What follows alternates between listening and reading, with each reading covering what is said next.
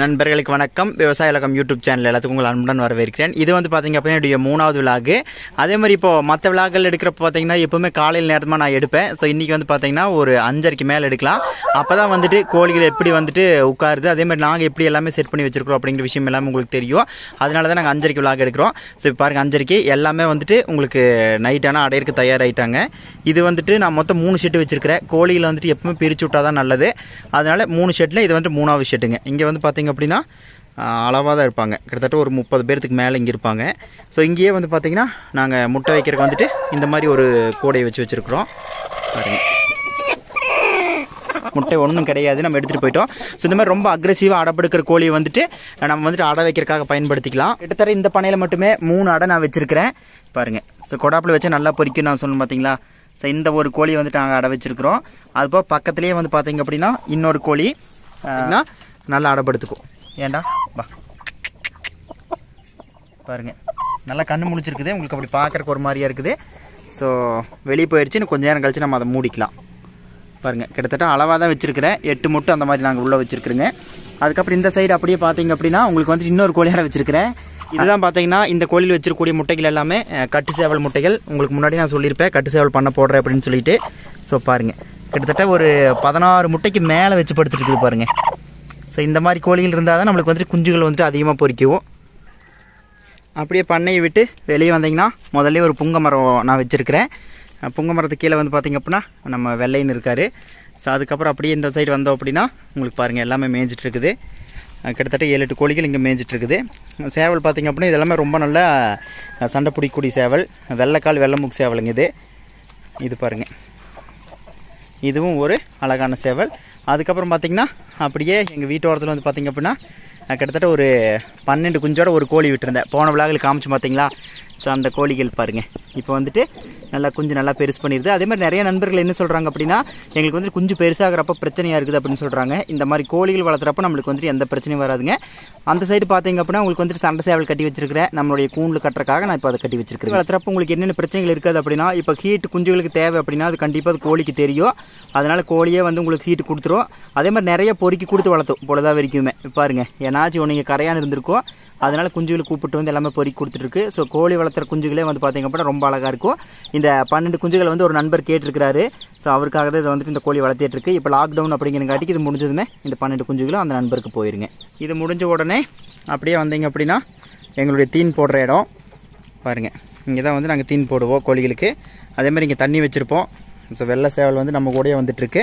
அப்புறம் இன்னொரு கோழி வந்து பார்த்திங்க அப்படின்னா ஒரு அஞ்சு குஞ்சோட வந்துட்டு கிட்டத்தட்ட ஒரு ஒரு மாதம் இருக்குங்க இந்த குஞ்சுகளுக்கும். அஞ்சு குஞ்சோட இந்த கோழியை வந்துட்டு நாங்கள் இங்கே விட்டோம். பாருங்கள் குஞ்சுகள் எப்படி பெருசு பண்ணிடுச்சுன்னு சொல்லிட்டு. இந்த மாதிரி பெரிய கோழிகள் இருக்கக்கூடிய பண்ணையில் வந்துட்டு இந்த மாதிரி குஞ்சுகள் நம்ம விடக்கூடாது. ஏன் அப்படின்னா இப்போ வந்துட்டு அதுக்கு தீன் திங்கிறப்ப இது இடையில போச்சு அப்படின்னா மிதிச்சிரும். அதனால இப்போ இதுவும் பார்த்தீங்கன்னா ஒரு நாலு குஞ்சு மட்டும் நல்லா பெருசு பண்ணி எடுத்துருச்சு. அந்த இடத்துல இன்னொரு இடம் வந்தோம் அப்படின்னா இதனுடைய ஷெட்டு ஸோ இதுக்குள்ளே எவ்வளோ பேர் வந்துட்டு அடையிறக்காக இருக்கிறாங்கன்னு சொல்லி பாருங்கள் பாருங்க எல்லாம் பக்கமாயிருச்சு அவங்களுக்கு டைம் ஆகுதா? அதனால வந்துட்டு இந்த கூண்டு வந்து பார்த்திங்க அப்படின்னா நான் முட்டை வைக்கிறக்காக கட்டுன கூண்டு. ஸோ அதனால் இந்த கூண்டுலேயும் முட்டை வைக்கும் பாருங்கள் இதெல்லாம் நல்ல லைனேஜான சேவல். பாருங்கள் எல்லாம் இங்கே இருக்கிறாங்க. அது போக பார்த்தீங்கன்னா இங்கே மேலே உட்காந்துட்டு இருப்பாங்க. அப்புறம் பார்த்தீங்கன்னா கொண்டையில் மேலே வந்துட்டு அங்கே ஒரு பத்து பதினஞ்சு பேர் மேலே உட்காந்துக்குவாங்க இது பார்த்தீங்க அப்படின்னா உங்களுக்கு வந்துட்டு பொன்னிறு சேவல். பாருங்கள் எப்படி இருக்குன்னு சொல்லிட்டு. அப்புறம் அதே மாதிரி இங்கே ஒரு கோழி நம்ம அடை வச்சிருக்கிறோம் வெள்ளை கோழி. அந்த கோழி அந்த ஹை ஃப்ளையர் குஞ்செல்லாம் பார்த்திங்கன்னா போயிடுச்சு இப்போ வந்து வெள்ளை கோழி தான் அடைபடுத்துட்டு இருக்குது. ஸோ வெள்ளை கோழி என்ன பண்ணுற வா குஞ்சு பொரிச்சிருக்கு. ஸோ டைம் ஆச்சு. ஒரு குஞ்சு பொரிச்சிட்டாங்க. அப்படி எடுத்து பார்ப்போம். இரு இரு பறக்காது பறக்காது. மற்ற முட்டைகள் மூக்கு பொத்துருக்கா? ஆமாம் இப்போ உங்களுக்கு மூக்கு பொத்தது தெரியுதா? பாருங்க. இது மூக்கு பொத்துருக்கு. இப்போ வந்துட்டு அப்படியே அது பொரிக்கும் எதை கூட வச்சிங்க அப்படின்னா உள்ளே எடுத்துக்கும் அதே மாதிரி குஞ்சையும் பார்த்தீங்கன்னா ரக்கக்குள்ளே சீக்கிரமாக கூப்பிட்டுக்கும். அதே மாதிரி அந்த குஞ்சும் வந்து பார்த்தீங்கன்னா இப்போ தான் இந்த உலகத்துக்கு புதுசு. ஸோ அதனால் சீக்கிரமாக தன்னுடைய தாய்க்குள்ளே போய் ஒளிஞ்சுக்கும். போ உள்ளோடிக்கும் பார்த்தீங்களா? போயிடுச்சு பார்த்தீங்களா? கோழியும் வந்துட்டு அதை வந்து அமுத்தாமல் அப்படியே படுத்துக்கும். அப்படியே அமுத்தாமல் மேலோட்டமாக படுத்துக்கும். ஸோ இதை க்ளோஸ் பண்ணிடலாம்.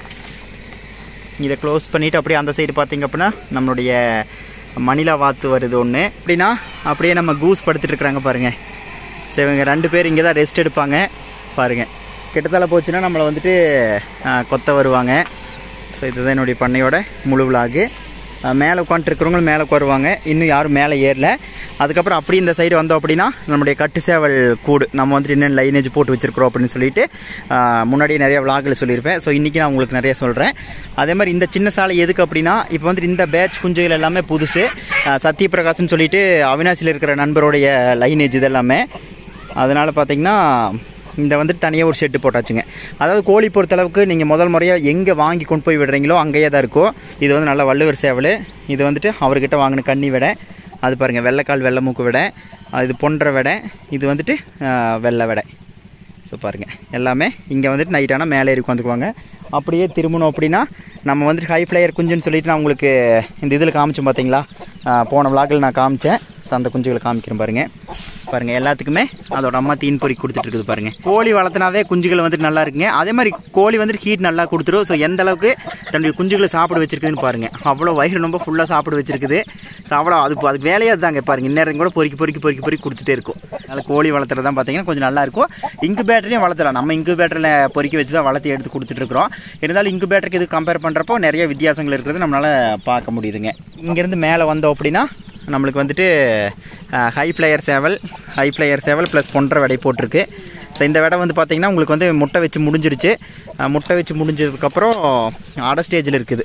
இதை நாங்கள் அடை வைக்க பயன்படுத்தலை. ஸோ வேறு கோழி அடை வச்சுருக்குறோம். இது வந்து பார்த்திங்கன்னா இப்போ உள்ளே இருக்குது ஸோ இன்னொரு பத்து நாளில் திரும்பியும் முட்டை வைக்க ஆரம்பிக்கும். ஒரு ரெண்டு பேட்ச் எடுத்துகிட்டு அதுக்கப்புறம் ஃப்ரீயாக வெளியே விட்டுட்டோம் அப்படின்னா உங்களுக்கு வந்துட்டு சரியாக இருக்குங்க. அடுத்த பேட்ச் குஞ்சுகள் வந்துட்டு நல்லா இறங்குறதுக்கான வாய்ப்புகள் அதிகமாக இருக்குது. இதை முடித்த உடனே அடுத்ததான் வந்தீங்கன்னா உங்களுக்கு வந்துட்டு பூதி வடை ஸோ இங்கே பாருங்கள் பூதி வடை வச்சுருக்கோம். பூதி வடையும் கீதி கீரி வடையும் வந்துட்டு இந்த சேவலுக்கு போட்டுருக்கோம் ஸோ இந்த சேவல் வந்து பார்த்தீங்க அப்படின்னா நல்லா சண்டை பிடிக்கக்கூடிய லைனேஜ் ஸோ அதனால தான் நம்ம தனியாக எடுத்து போட்டிருக்கோம் இந்த வடை பார்த்தீங்கன்னா நம்ம கூட ரொம்ப நல்லா ஃப்ரெண்ட்லியாக பழகும். இங்கே பாருங்கள் பா பா பா பா பா பா. பா பா பா பா பா இதை இதை கூட நீங்கள் ஈஸியாக தொட்டுடலாம் பிடிச்சிடலாம். ஆனால் கீரி வடையை பாருங்கள் டச் பண்ண உடனே அந்த பக்கம் இந்த பக்கம் போகும். அதே மாதிரி இந்த விடைக்கு நம்ம தண்ணி வைக்கிறதுக்கு வந்து பார்த்திங்கன்னா தண்ணி எப்பவுமே வைக்கிற அந்த சிமெண்ட் தொட்டி வச்சுருக்கிறோம். அதே மாதிரி முட்டை வைக்கிறதுக்கு வந்து பார்த்திங்க அப்படின்னா டயர் வச்சுட்ருக்குறோம் ஸோ அதனால் பார்த்திங்கன்னா இதில் இருந்துக்கும். இது முடிஞ்ச உடனே வந்துட்டு கீழே பார்த்தீங்க அப்படின்னா நம்ம வந்துட்டு மின்னும் கோழிகள் அப்படின்னு சொல்லிட்டு நம்ம ஒரு வீடியோ போட்டிருந்தோம். அதில் பாருங்கள் ஸோ அதில் வந்த கோழிகள் இவை எல்லாமே போடக்கூடிய ஒரு லைனேஜ் பா பா பா பா பா. இந்த கோழிகள் ஒரு நல்ல பக்கமாக ஒரு காலையில் தீன் போடுறப்பல பக்கமாக வந்துடும் ஸோ சேவல் பாருங்கள் இந்த சேவல் பார்த்தீங்கன்னா ஹை ஃப்ளையர் சேவல். ஸோ இதுக்கு வந்துட்டு அந்த விடையை போட்டிருக்கிறோம். சரிங்களா? ஸோ இது வந்து பார்த்திங்கன்னா தீன் மட்டுமே தின்னுட்டு இருக்குது ஸோ முட்டை வைக்கிறதுக்கு இன்னொரு பத்து நாள் ஆயிரும். பத்து நாள் ஆன உடனே நம்ம வந்துட்டு டயரோ இல்லை வேறு என்னாச்சும் நம்ம வச்சிடலாம். அப்படி இந்த பக்கம் வந்திங்கன்னா உங்களுக்கு வந்துட்டு இது வந்து வள்ளுவர் விடை நூலான் சேவலுக்கு. ஸோ இதில் பாருங்கள் இன்னொரு விஷயம் பாருங்கள் இப்போ இவனுக்கு எப்படி காயமாக இருக்குதுன்னு பாருங்கள் யார்த்தர் கூட சண்டை போட்டிருப்பான் இன்றைக்கி பாருங்கள் எப்படி ரத்த காயத்தோடு இருக்கிறான் பார்த்தீங்களா ஸோ யார்த்தர் கூட இன்றைக்கி வந்துட்டு சண்டை போட்டிருப்பான் கோழிகளுக்காக சண்டை போட்டிருப்பான் ஸோ அப்படியே வந்தீங்கன்னா இது வந்துட்டு சத்யபிரகாஷ் சகோகிட்ட வாங்கின விட. அப்புறம் இது பாருங்க. அதே மாதிரி போன விழாவில் நான் காமிச்சேன் பார்த்தீங்களா குஞ்சுகளை வந்துட்டு நான் கொடாப்பில் மூடி வச்சுருந்தேன் அந்த சின்ன ஷெட்டு கடத்தி அடியால். ஸோ இங்கே பாருங்கள் இப்போ வந்து பார்த்திங்கன்னா இது வந்துட்டு நம்ம நம்மளுடைய கட்டு சேவல் குஞ்சுகள் இங்கே தான் இருக்கும். பார்த்திங்கன்னா நைட் ஆனால் இதுக்குள்ளே உட்காந்துக்கும். ஏன்னா கீழே உட்காரக்கு வந்து பேலன்ஸ் இருக்கான்னு சொல்லிட்டு இந்த போசிக்குள்ளே உட்காந்துக்கும். பாருங்கள் இந்த போசி வந்துட்டு இதுக்கு உட்காந்துக்கும். அதே மாதிரி தண்ணி வந்துட்டு நாங்கள் ரெண்டு தொட்டியில் வச்சுருக்கிறோம். அந்த கோழியும். இங்கே பாருங்கள் இந்த சேவல் தான் பார்த்தீங்கன்னா நம்ம பத்தாயிரம் ரூபாய்க்கு கொடுத்து வாங்கிட்டு வந்தது. ஸோ நல்லா சண்டை போடக்கூடிய லைனேஜ்னு சொல்லிட்டு. ஸோ விடையை பாருங்கள் எப்படி இருக்குன்னு சொல்லிட்டு. அதே மாதிரி பாருங்கள் எல்லாம் சண்டை போடுறக்கே தான் அலைஞ்சிட்டு இருப்பானுங்க. பாருங்கள் கொஞ்சம் வெளியே விட்டோம் அப்படின்னா ரெண்டும் சண்டை போட்டுக்கும். ஸோ அந்தளவுக்கு சண்டையே போடும் பாருங்கள் இந்த கோழி தான் பார்த்தீங்கன்னா சேவல் இருக்க முடியெல்லாம் நிறைய பிடுங்கிருக்குது பாருங்கள் நம்ம நேற்று அப்படி கிடையாது. இன்னைக்கு பாருங்கள் முடி புறம் பிடுங்கிருக்குது இந்த கூண்டில் கோழி எல்லாமே பார்த்து முடிச்சுட்டு அப்படியே நம்ம அடுத்த இடத்துக்கு வந்தோம் அப்படின்னா பாருங்கள் இங்கே ஒரு பேட்ச் கோழிகள் இருக்கும். ஸோ பேட்ச் பேட்சாக வைக்கிறங்காட்டிக்கு பார்த்தீங்கன்னா நம்மளுக்கு ஒரு இடத்துலேருந்து ஒரு நாலு முட்டை நாலு முட்டை கிடைச்சா கூட ஒரு நாளைக்கு பன்னெண்டு முட்டை அப்படிங்கிற விதமாக கிடைச்சிரும். அதே மாதிரி பேட்ச் பேட்சாக வைக்கிறப்போ ஒரே சேவல் எல்லா கோழிகளுமே வந்துட்டு இது முடுக்காதுங்க. இது வந்துட்டு மேட் ஆகிறப்போ அதை வந்து முடுக்காது. ஸோ அங் அங்கங்கே ஒரு ஒரு ராஜா ஒரு ஒரு பண்ணை. பாருங்கள் ஸோ இது பொறுத்தளவுக்கு இங்கே இந்த கோழிகள் இருக்குது கிட்டத்தட்ட எட்டு கோழிகளுக்கு மேலே இங்கே இருக்குதுங்க. அது பாருங்கள் அப்புறம் அதே மாதிரி நம்ம தலைச்சேரி ஆடு சுற்றி மேய்ஞ்சிருச்சு ஸோ அது மேய்ஞ்ச ஒரு கழிப்பில் படுத்துட்டு இருக்குது. பாருங்கள் காலையில் முருங்கைத்தலை மணத்தை கழிக்கிற எல்லாம் போட்டேன். ஸோ நம்ம ஆளுகள்லாம் பார்த்தீங்கன்னா தீன் போடுறக்காக தீன் என்னாச்சும் கொடுப்பாங்கண்ணா அப்படின்னு சொல்லிட்டு வர்றாங்க. எல்லாமே பாருங்கள் வகர்ணம்பா இருக்குது. ஸோ எல்லாத்துக்கும் தீன் போட்டாச்சு. பாருங்கள் இங்கே வந்து கிட்டத்தட்ட எட்டு கோழிகள் இருக்கும். ஸோ அந்த சைடு ஒரு ரெண்டு மூணு கோழிகள் மேய போயிடுச்சு உங்களுக்கு. ஸோ அதுக்கு எல்லாமே இன்னும் வந்து மேலே உட்கார்றது மேலே உட்காரும். உங்களுக்கு உள்ளே உள்ளே போய் ஷெட்டுக்குள்ளே உட்கார்றது ஷெட்டுக்குள்ளே உட்காருங்க. ஸோ அப்படிங்க வந்தீங்க அப்படின்னா நம்முடைய மணிலாவாத் ரெண்டு. ஸோ இன்னும் ரெண்டு வாத்து அந்த சைடு இருக்குது ஸோ பாருங்கள் இதுதான் பார்த்தீங்கன்னா நம்ம முட்டை வைக்கிறதுக்கு செட் பண்ணியிருக்கிற இடம். இன்றைக்கி வந்து நான் முட்டை எடுக்கல. ஸோ ஒரு சின்ன வேலை இருந்தங்காட்டிக்கு. ஸோ இப்போ பாருங்கள் முட்டைகள் வந்துட்டு உங்களுக்கு நல்லா முட்டை வச்சுருக்கும் பாருங்கள் ஏட்ரா கம்மிடா. பாருங்கள் நாலு முட்டை வச்சுருக்கு நம்மளுக்கு. ஸோ இப்படி பேட்ச் பேட்சாக கோழிகள் இருக்குங்காட்டிக்கு முட்டையோட கருவுறும் திறன் வந்துட்டு ரொம்ப நல்லா இருக்குங்க. பாருங்கள் ஸோ நாலு முட்டையை எடுத்தாச்சு. கொண்டு போய் வச்சுக்கலாம். ஸோ இவங்களுக்கு எல்லாமே இப்போ தீன் போடுறதுனா போடல இல்லாட்டி காலையில் கூட போட்ட ஒன்றும் பிரச்சனை இல்லை. அதுக்கப்புறம் அப்படி இந்த பக்கம் வந்தீங்க அப்படின்னா நம்மளுடைய கடக்நாத்தும் என்னுடைய கட்டு சேவல் பண்ணையும். இப்போ தான் நான் கட்டு சேவல் பண்ண வேலை செஞ்சுட்ருக்கேன்னு சொல்லிட்டு எல்லாத்துக்குமே தெரியும்.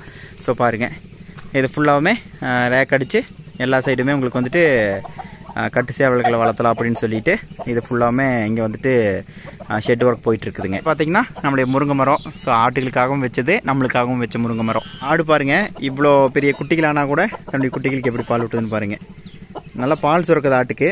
ஸோ அதனால தான் கண்டிப்பாக இன்றைக்கி பார்த்த இந்த விளையாட்டு எல்லாமே உங்களுக்கு ரொம்ப பயனுள்ளதாக இருக்குன்னு நான் நம்புறேன். மேலும் விவசாய விளக்கம் யூடியூப் சேனல் உங்களுக்கு பிடிச்சிருந்தது அப்படின்னா மறக்காமல் சப்ஸ்கிரைப் பண்ணிக்கோங்க. நன்றி.